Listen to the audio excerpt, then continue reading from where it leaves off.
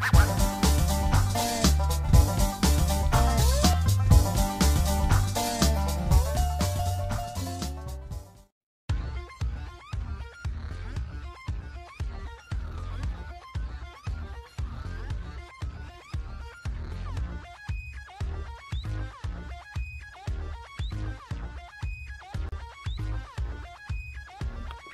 Ciao a tutti, questi sono il mio nuovo rossetto e il mio nuovo lucida labbra, facilissimi da fare perché li ho realizzati con dei prodotti di Aromazone già finiti, diciamo, il Met Pour per il rossetto e il Mirror de Sucre invece per il lucida labbra, a cui ho aggiunto alcuni ingredienti per renderli maggiormente professionali. Qui sto realizzando il mio rossetto, lo sto realizzando con il pigmento magico di Gaia.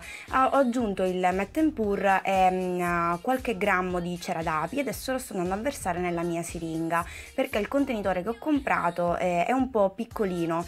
Difatti adesso vedrete che mh, mm, quando appunto andrò ad inserire il rossetto insomma ci sarà un po' di eccesso che esce ma eh, spingendo diciamo alla fine sono riuscita ad inserirlo dentro il rossetto e mm, adesso appunto vi faccio vedere il risultato. Qui invece sto realizzando il lucida labbra. Prendo il mirror de sucre questa ricetta è a cucchiai perché non ho preso eh, dosi eh, circa appunto un cucchiaino e mezzo e vado ad aggiungere mh, mm, due piccole gocce di cera d'api, scusate per le mani tutte colorate ma quel pigmento è assurdo.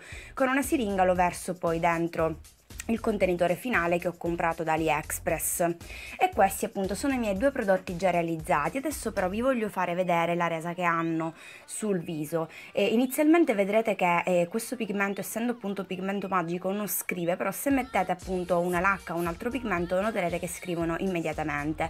Questo invece ha bisogno un attimino di calibrare diciamo il pH delle labbra per poter diventare più chiaro o più scuro. Adesso vi faccio vedere che in qualche secondo è già diventato più scuro. Tolgo un po' di eccesso perché voglio mettere su questo il lucida labbra e vi faccio vedere che leccando leggermente le labbra diventa anche più scuro perché mm, il pH appunto incomincia a diventare più acido è davvero un bellissimo colore, nell'info box vi metterò poi il video di Kaya sul suo rossetto magico e sul pigmento e tutte le varie informazioni, ma potrete utilizzare qualunque genere di, di pigmento. Questo è lucida labbra, lo vado a mettere di sopra, come vedete è leggermente bianco ma sulle labbra poi è totalmente trasparente. Adesso vi faccio vedere anche la resa di questo.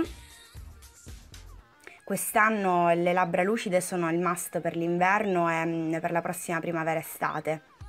E questo è il risultato finale. Ciao a tutti ragazzi, a presto!